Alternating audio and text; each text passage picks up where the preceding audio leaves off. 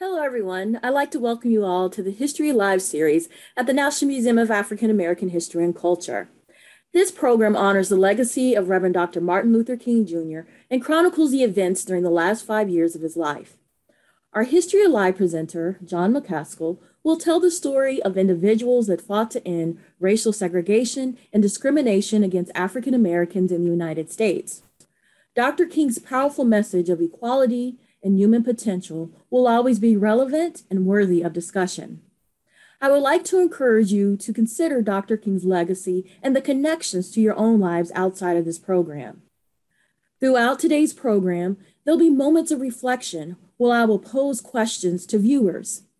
If you're watching this with others, feel free to have a discussion amongst yourselves. And with that, I'll hand things over to John. The Reverend Dr. Martin Luther King Jr. was probably one of the most recognized individuals of the civil rights movement. And yet, if Doc was here today, he would be one of the first to say that there were hundreds of thousands of individuals who were part of the movement, names who we may never remember again. His memorial in Washington, D.C., well, should I say the theme of his memorial is Out of a Mountain of Despair, a Stone of Hope. August 28, 1963, while preaching his I Have a Dream speech on the steps of the Lincoln Memorial, Doc talked about hew out of a mountain of despair a stone of hope. Now, in order for us to understand the significance of that particular march, we have to go back to 1963, but not August, April of 1963. Dr. King had taken his protests down to Birmingham. We're going to look at the last five years of Doc's life. Let's go back to Birmingham.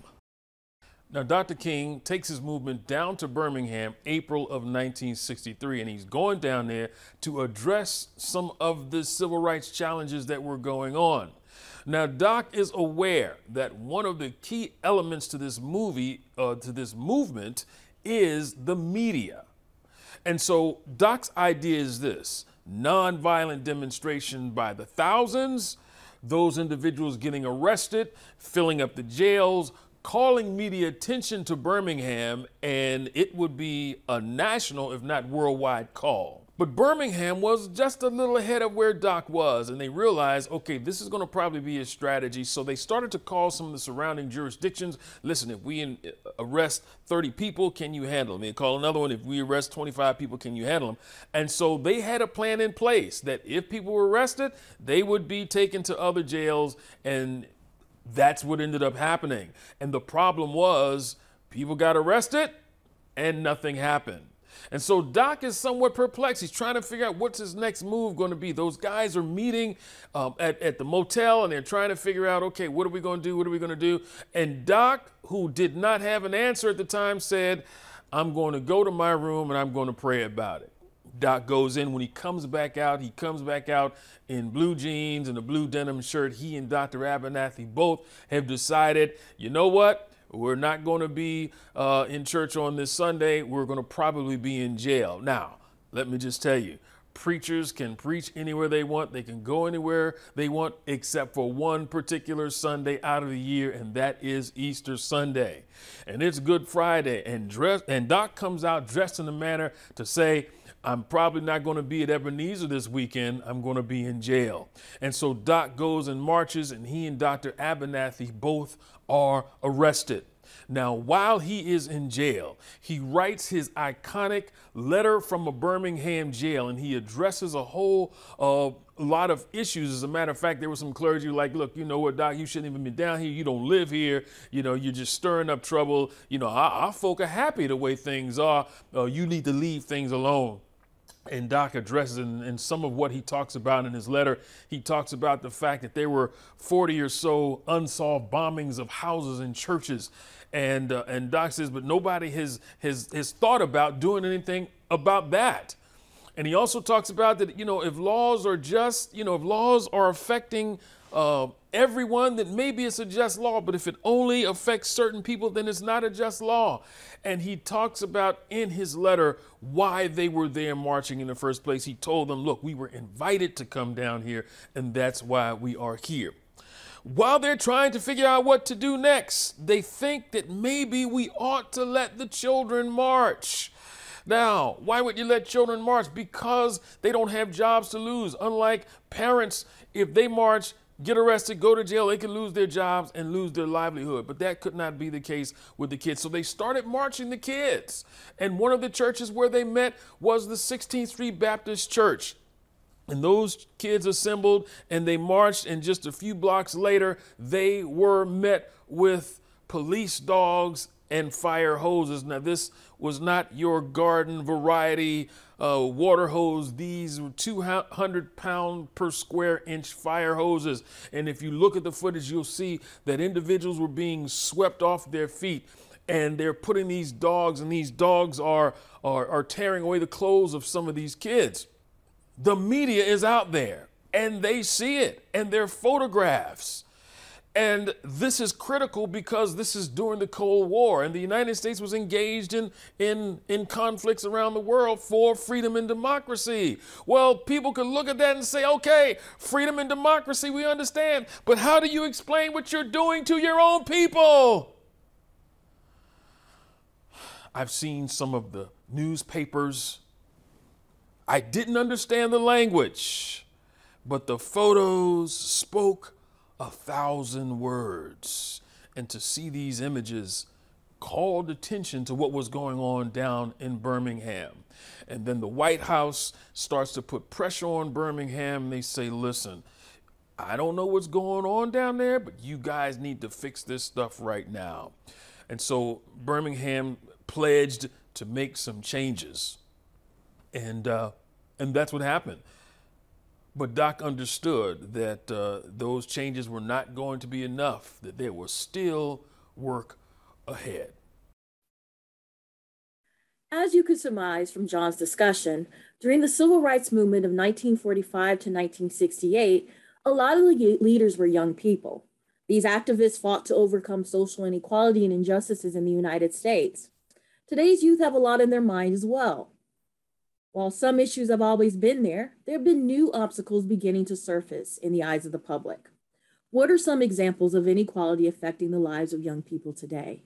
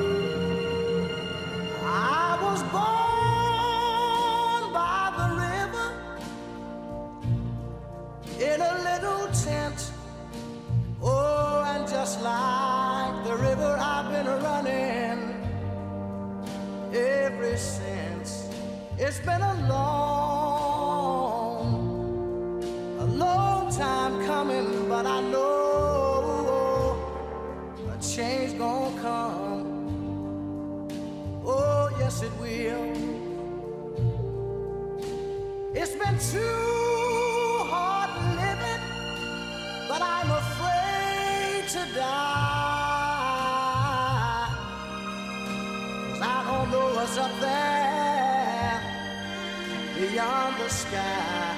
It's been a long, a long time coming, but I know a change gonna come. Dr. King wanted to keep up the initiative from their victories at Birmingham. And so Dr. King went to Washington, D.C. to talk to the president about a civil rights bill. Now, President John F. Kennedy understood but he's like, Doc, I feel you, but I am dealing with the Southern Congress and they don't want to see stuff changing too fast. Dr. King was approached by A. Philip Randolph to march on Washington, D.C. Now, this is the same A. Philip Randolph who in 1941 was going to have a march on Washington for blacks having the opportunity to work in industry during World War II and he approaches Doc about coming to Washington with a grand march that will once again bring the issues of the day before a national audience. 250,000 individuals participated in the March on Washington for Jobs and Freedom. Now, that was no small undertaking to get those people into the city. They were considering sandwiches, water. How do you feed these people? At one point, some of the organizers were like, nobody's coming. It's not that they were not coming, there were backups on the interstate. Now, there were many individuals who were scheduled to speak. Dr. King was supposed to speak earlier in the day. But one of the individuals had a pretty, and I would, I would probably say it's one of the second most popular speeches of the day. And that speech was made by the great John Lewis. Now, he's a young 24, 25 year old at the time, and his speech was kind of radical. As a matter of fact, somewhere in his speech, he had something along the lines of if they don't change, we will march through the South like Sherman marched through Georgia. I don't need to tell you that some of the older individuals like A. Philip Randolph was like, son, you cannot say that. Please, please, please change your speech. There was a concern that 250,000 folk would march on the White House or, or the Capitol or something, and they were concerned about that. And out of honor of those individuals, Mr. Lewis changed his speech. And so they decided to have Dr. King to go on last to be a unifying voice. It is August 28, 1963. Imagine you are there. Normally in Washington, D.C., the humidity is 100% in August, but not today. It was quite pleasant, actually and you're there, you've heard other speeches, you may have had your feet in the reflecting pool at some point, but now it is time to hear Dr. King. And you hear the words of A. Philip Randolph as he's introducing Doc, saying, The moral leader of our time, Dr. Martin Luther King, Jr. And they start to clap. There's, there's a, the, the ovation is deafening.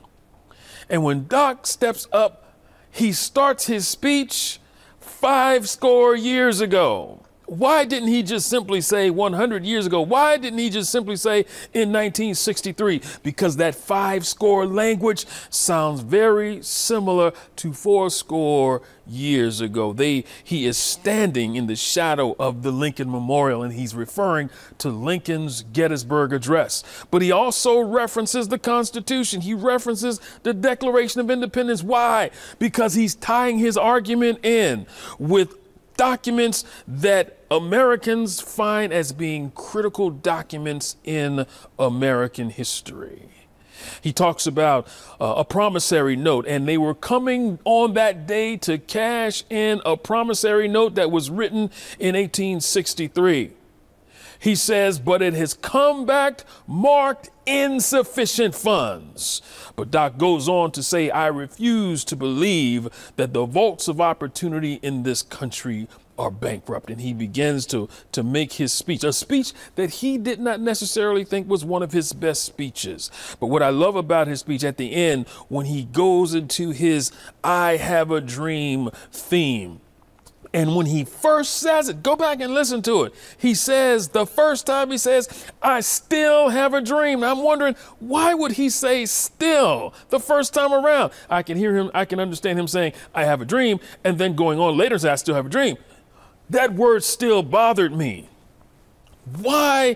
It, it, it almost makes it sound as if he's had this dream before. This was not the first time he had that dream. Wyatt Walker, who was on Doc's staff, he said, uh, you know, we had heard that I have a dream ending, you know, 20 or 30 times. Said, Doc, you need to change it. About six weeks before, he was at Cobo Hall in, in, in Michigan, Detroit. And he had a very similar speech, but had the same I have a dream ending. And I know the night before, he was at the Willard Hotel trying to work on the ending of his I Have a Dream speech.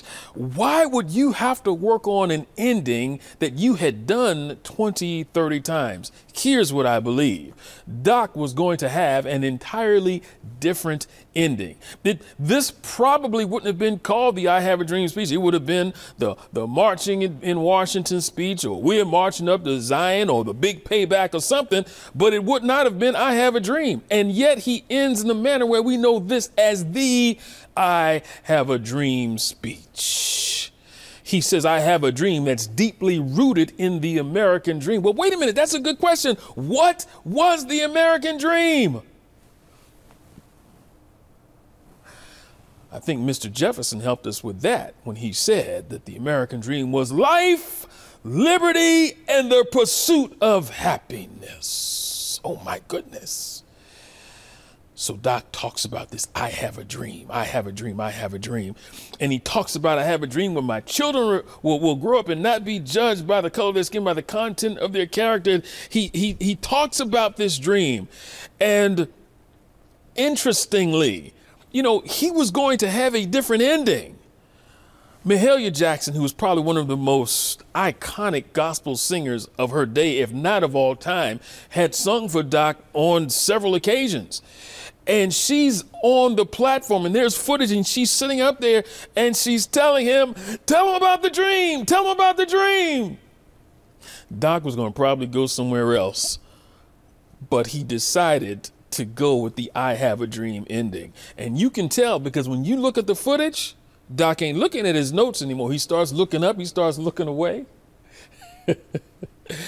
Clarence Jones, who was Dr. King's attorney and speechwriter, turned to somebody and said, They don't know it, but he about to take them to church.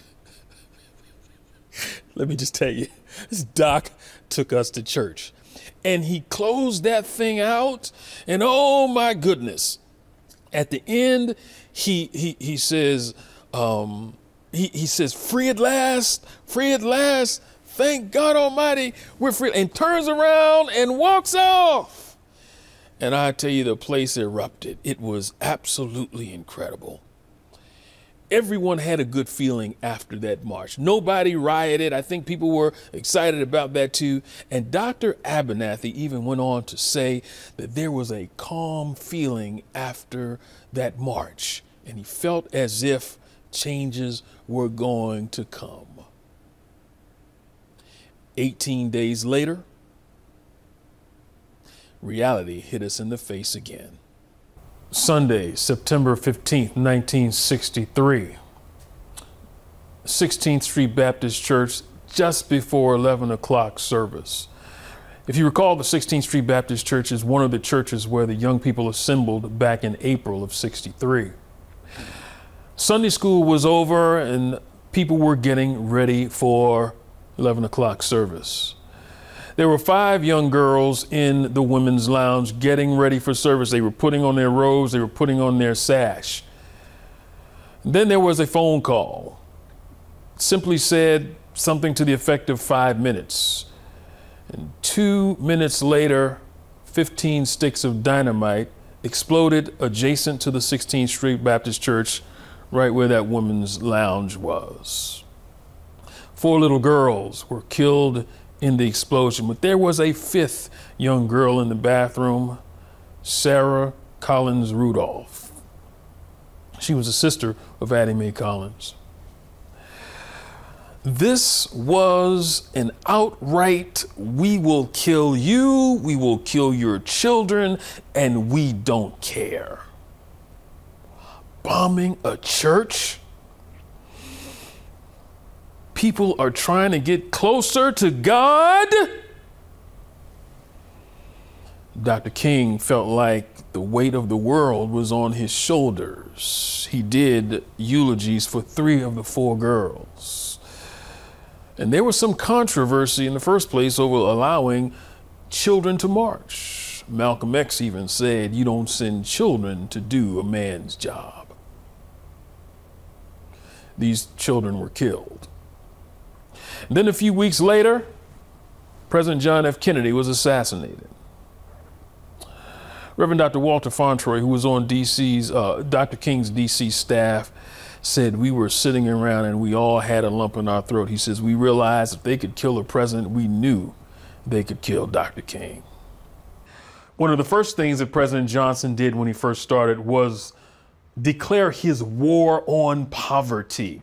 Now, this was supposed to be a way of getting people who were, I guess, considered lower class up to middle class, whatever that's supposed to mean, which would have been an increase in education, jobs, healthcare, all of that stuff. And so that's what his plan is. Freedom Summer begins in 1964, and it is a massive effort to get the people down in the South registered to vote, specifically places like Mississippi. Now, right after Reconstruction, 1877 or so, there is a lot of pushback. Well, there had already been pushback about allowing blacks the right to vote, but this is when a lot of that ends up. Uh, should I say, not being enforced. And people who may have been on the rolls as eligible voters 10 years later, those, those rolls had decreased significantly. But there's always been pushback about allowing people to vote and who's eligible to vote. And so people went down, as you can see, they were talking, not going door to door, talking to residents, trying to get them to vote. And these were mainly college students, kids from the North coming down to help to do that. And a lot of them understood the cost. And many of these young college students were signing their last will and testaments before they would go and embark on these cases. Three of these, the individuals who died were Andrew Goodman, James Chaney, and Michael Schwerner, three civil rights workers who were killed in Mississippi. They were arrested uh, and let out of jail probably around 2 a.m. and were never seen from again. They found their station wagon that had been burned out, and I think probably about six weeks after, uh, with because of an anonymous tip, uh, someone had told the FBI where those bodies were found, and that is a picture of them um, being uh, being discovered. And so we can see that people not only were willing to put their lives on the line for this, some of them put their lives on the line. And also in 1964, July 2nd, President Johnson signed the Civil Rights Act. The march from Selma to Montgomery was also to bring national attention to the problem that was going on. Now, this march was led by John Lewis and Hosea Williams. March 7, 1965, they are marching towards the Edmund Pettus Bridge. Now, this was not an illegal march. Uh, they did not have the necessary credentials. And so they were met by state troopers. And the state troopers told them that they would not be allowed to continue the march. These state troopers were wearing uh, riot gear, billy clubs, and you could hear their boots along the sidewalk, along the asphalt as they were moving towards the marchers. Now, music did not have to start playing in a minor key for you to know that something was going on. They started pushing these demonstrators, and there is iconic footage, as you can see, of what happened next.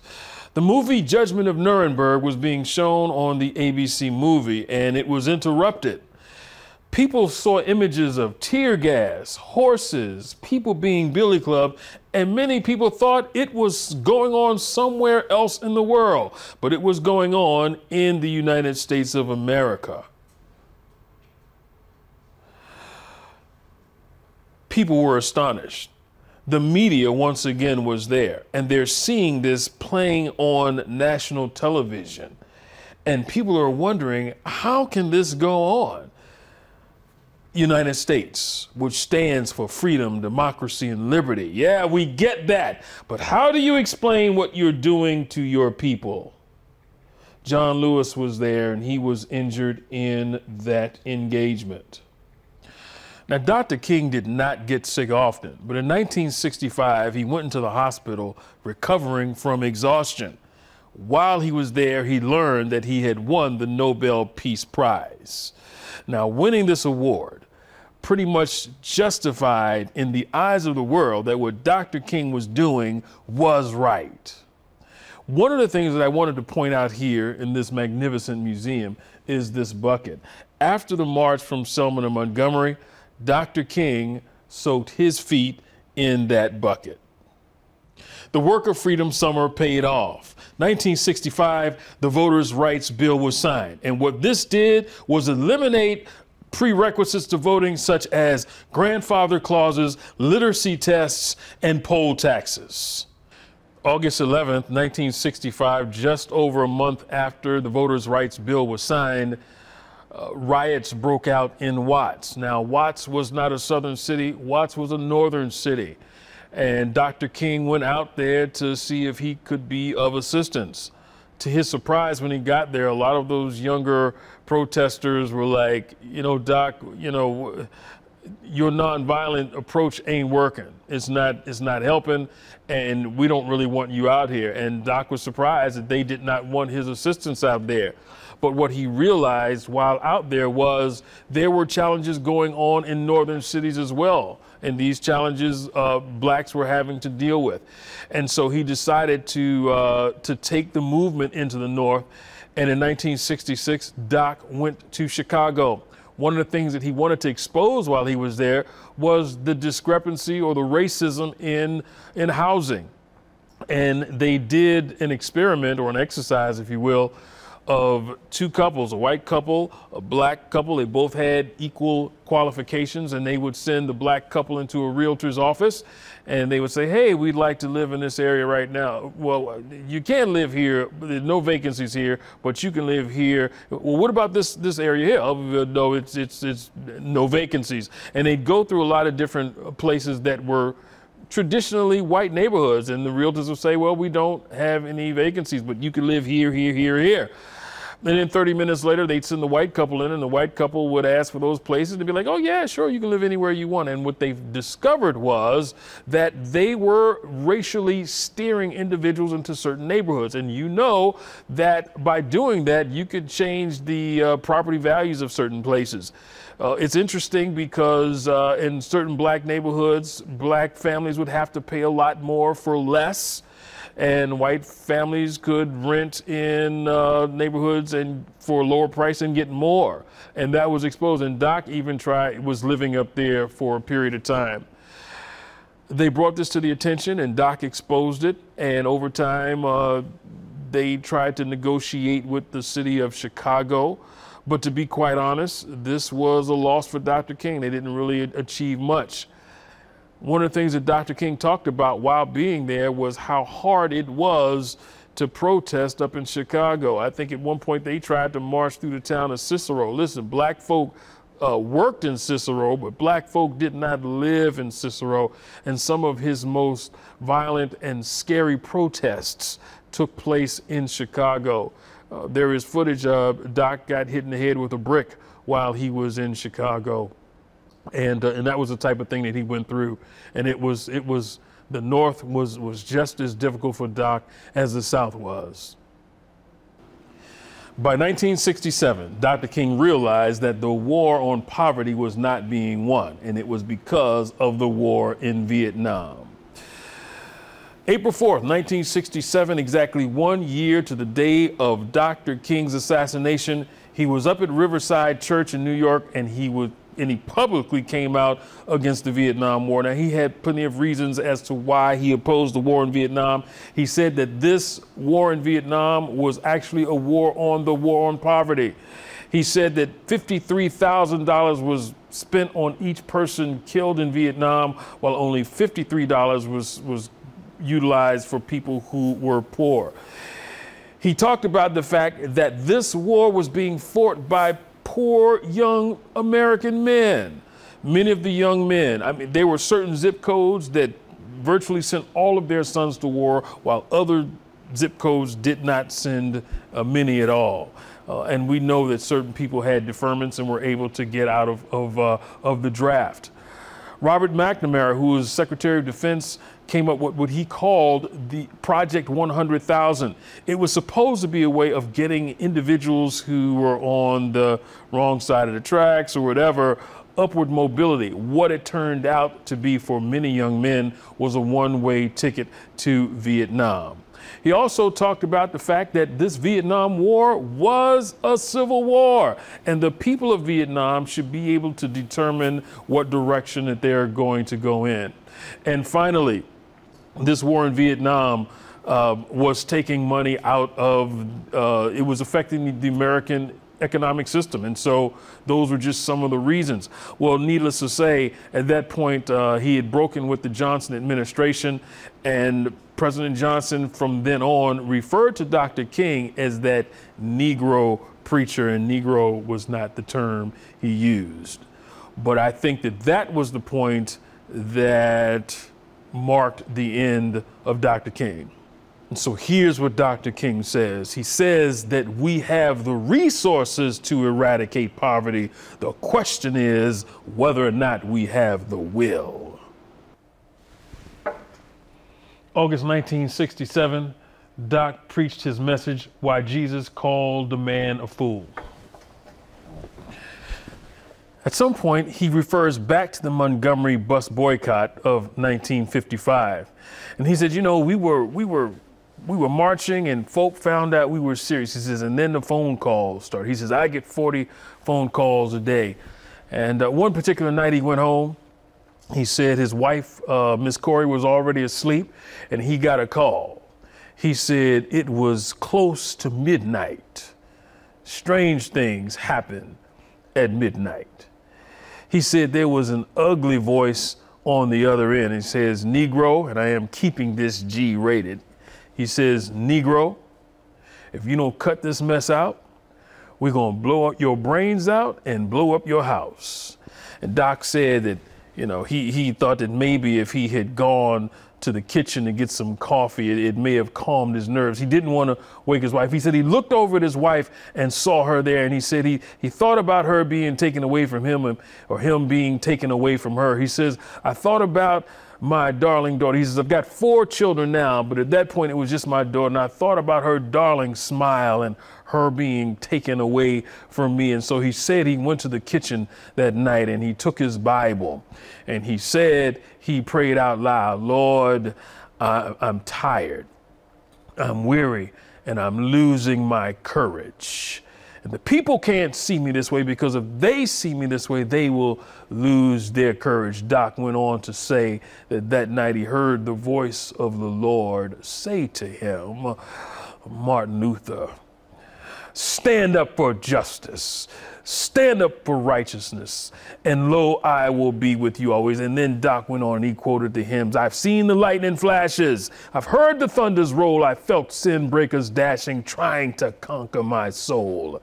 But then I heard the voice of Jesus who bid me to fight on. He promised never to leave me, never to leave me alone. And then he went on into another hymn Sometimes I feel discouraged and feel my works in vain. And then the Holy Spirit revives my soul again. Oh my goodness. February 1968, Doc is down at Marks, Mississippi, and they're going around seeing what's going on, particularly in the schools.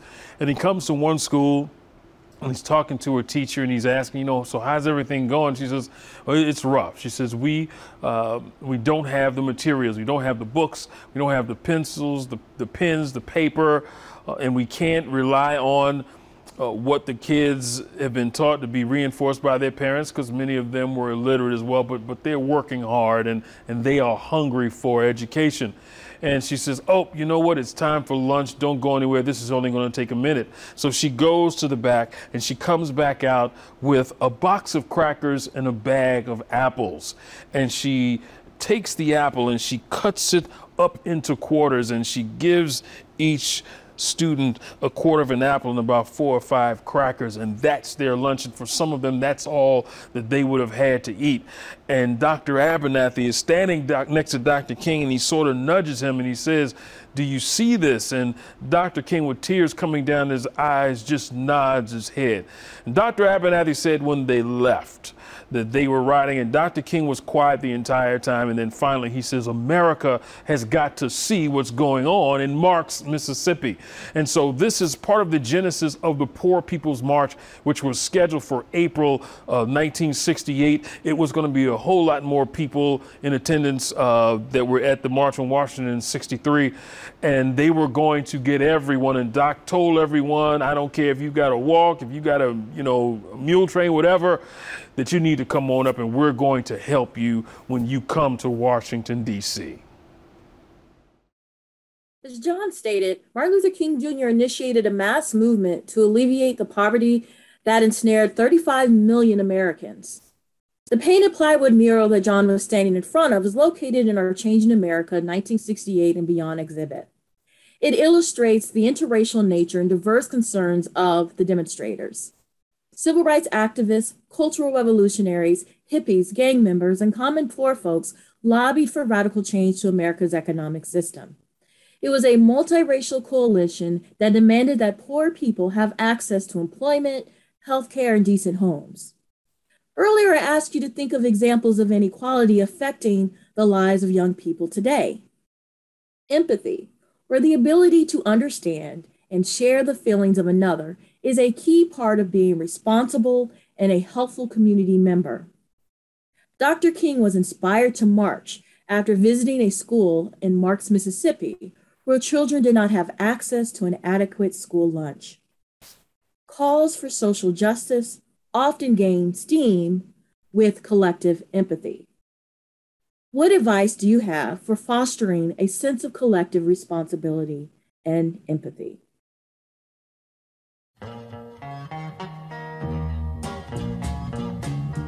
Friend, you know this soul was in a bad condition.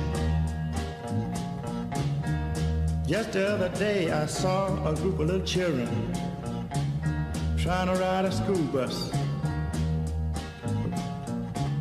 By them being of a different nationality, they weren't allowed to ride the bus. Now I imagine you would ask them about this matter, they would have a word like this to say.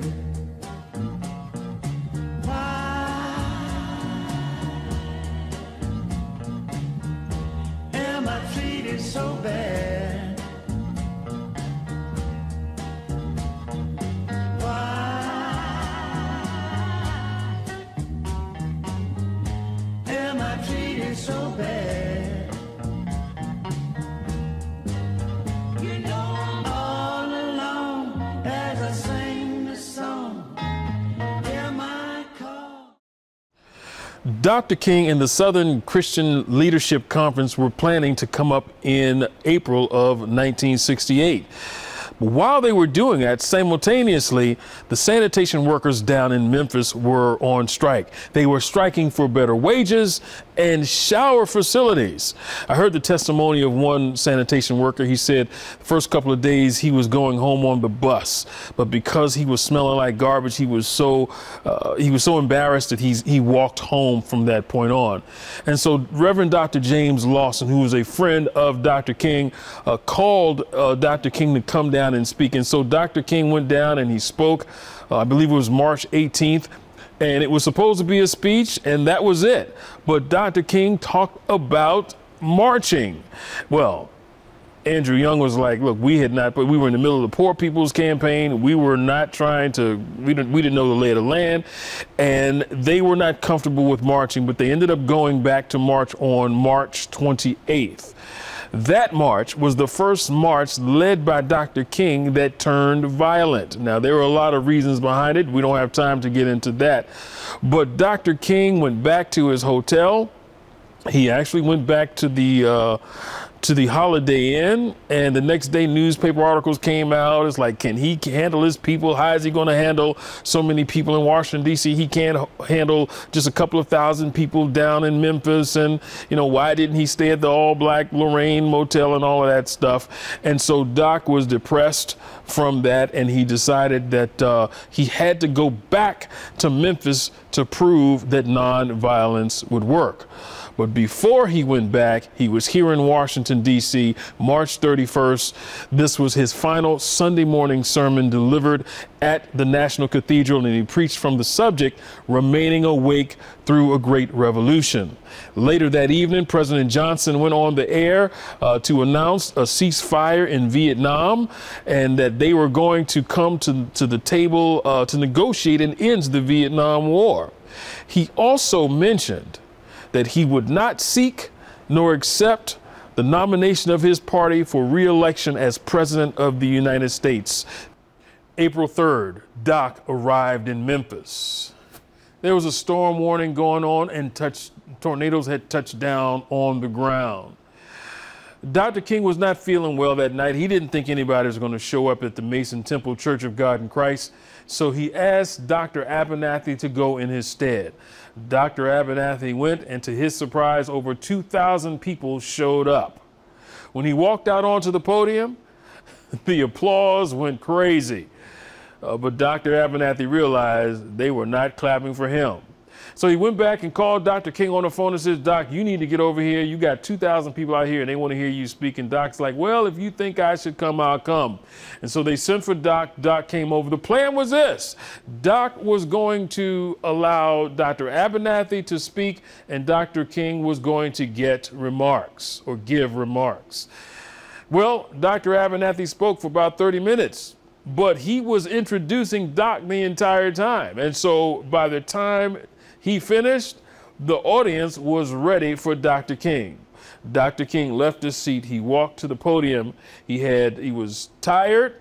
He had a temperature. He was frustrated, and he had no notes in his hand. And he ended up preaching his final message, "I've been to the mountaintop."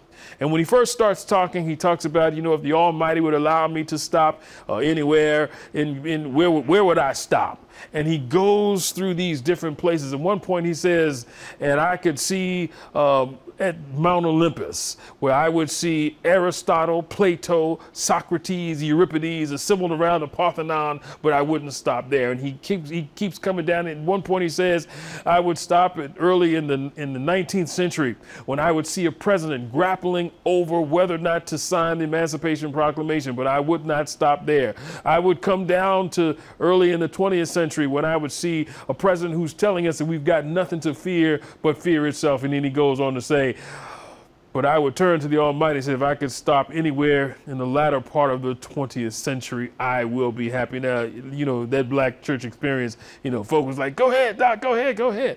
And Doc starts to preach and he's talking about various things. And at one point, he talks about well, he was in New York signing his book and he said uh, there was a woman and asked, you know, are you Dr. King? He says, yes, I am. And he says he felt something beat in on his chest. Doc had been stabbed by a demented woman. They took Doc to the hospital. They performed emergency surgery, and they said that the blade was, the tip of the blade was so close to, to his aorta, if he had sneezed, he would have died.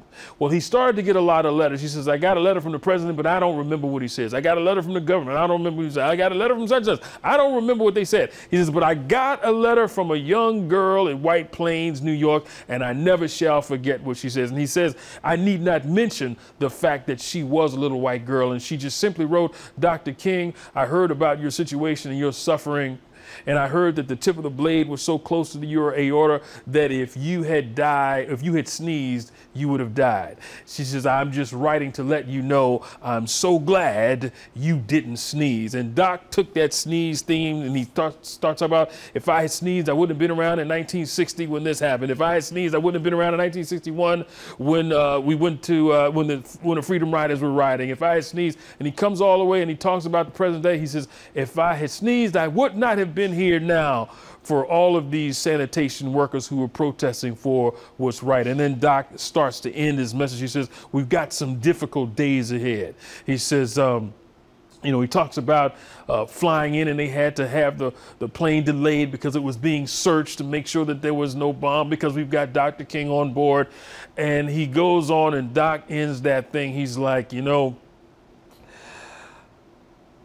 he says, like anybody, I'd like to live a long life. Longevity has its place, but I'm, I'm not concerned about that. I just want to do God's will. And he's allowed me to go up and see, uh, go up to the mountaintop. And he says, I may not get there with you, but we as a people will make it to the promised land. And he's allowed me to go up to the mountain. And I've looked over and I've seen the promised land. I may not get there with you, but I want you to know tonight that we as a people will get to the promised land.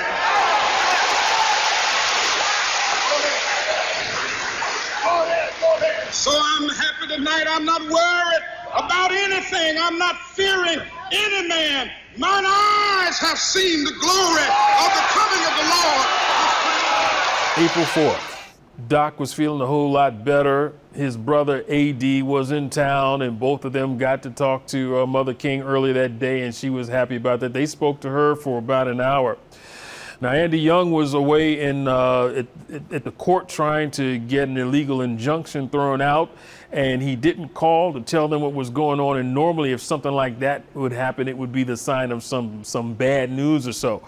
But um, for lunch, Dr. Abernathy and Dr. King had catfish and salad. Now, they ordered two separate orders but the waitress took it as a double. So the salads were separate, but the fish was on the same plate. And Dr. Abernathy was a little upset and wanted to tell her to go get it right. And Dr. King says, Ralph, don't worry about it. We can eat off the same plate. And that would be the last time that the two of them would eat together. Uh, as I said, Dr. Um, Dr. Abernathy and Dr. King were trying to hear word from Andrew Young.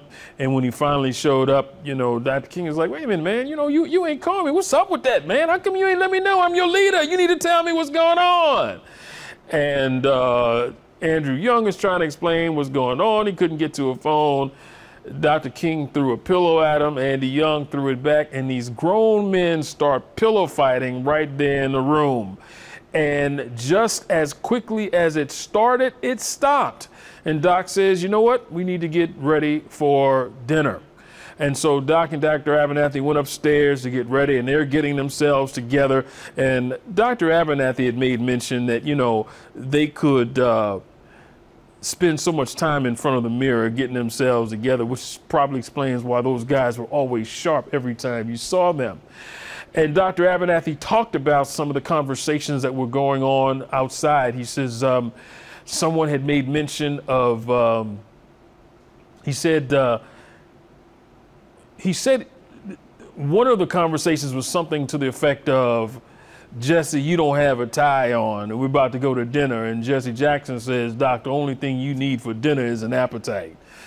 Uh, there was another conversation that um, Dr. Abernathy talked about. He says that uh, Andy Young had mentioned to Dr. King that he hadn't been feeling well. It's a little chilly out. You may want to take a coat. Doc says, Yeah, you might be right. Uh, Billy Kyles was standing right next to Doc, and he said uh, he had just turned and was starting to walk away. Doc had said something to I forget the person's name, but it was the musician who was supposed to play that night. He says he says I want you to play uh, "Take My Hand, Precious Lord." Play it real pretty. Dr. Abernathy said that he was he, he was he had error. I believe it was Aramis. He was rubbing his hands together, and he said he was about to bring it up to his face when he heard, as he said, what sounded to be a car backfiring. He said, but there was something ominous about this sound. And he said he instinctively jumped like he normally would. And he looked out the door and he no longer saw Dr. King standing on the railing, but he saw his feet underneath the railing. Billy Kyles said that he turned, took a couple of steps, heard a bang and a uh, and he said he looked back and he saw that Doc had fallen. Um, Doc was struck through the neck with a 30 aught six. That is a military grade rifle. The round entered his jaw and exited and re entered in his neck. And Dr. Abernathy said that there was a, a hole big enough for him to put his fist through. Doc had been shot. Doc fell to the ground. Uh, Billy Kyles said he could see the color leaving Doc's face. And Dr. Abernathy was, he said he cradled Dr. King and he patted his cheek. He says, Martin, this is Ralph. Martin, this is Ralph. Everything is going to be all right. And a lot of stuff went on at that point. Uh, people didn't know how bad it was. They took him to the St. Joseph's Hospital, which was not that far, but for all practical purposes, uh, Doc had died. And yet, somewhere I read, unless a grain of wheat falls to the ground and dies, it remains alone. But if it falls to the ground and dies, it will bear fruit. It is because of the life and death and legacy of Dr. King that so many of us have benefited, not just African Americans, but people altogether. And we have accomplished quite a bit, but at the same time, there's still more to do. The work is still unfinished. I'm reminded of the words of James Weldon Johnson lift every voice and sing till earth and heaven rings, rings with the harmonies of liberty.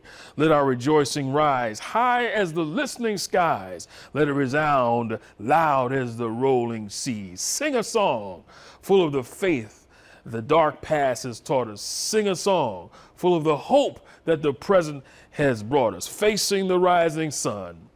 Of our new day begun, let us march on till victory is won. Dr. Martin Luther King Jr. was a pioneer and an advocate who inspired generations through his commitment to love and people. His dream of empowerment and inclusion is a notion that we're still fighting for even today. I hope that you enjoyed today's History Alive program. I also like to thank John for doing such a fantastic job, and I hope to see you at more of these presentations and programs. In closing, I would like to leave you with this final reflection. How will you continue Dr. Martin Luther King Jr.'s message of inclusion and equality in your own lives. Thank you.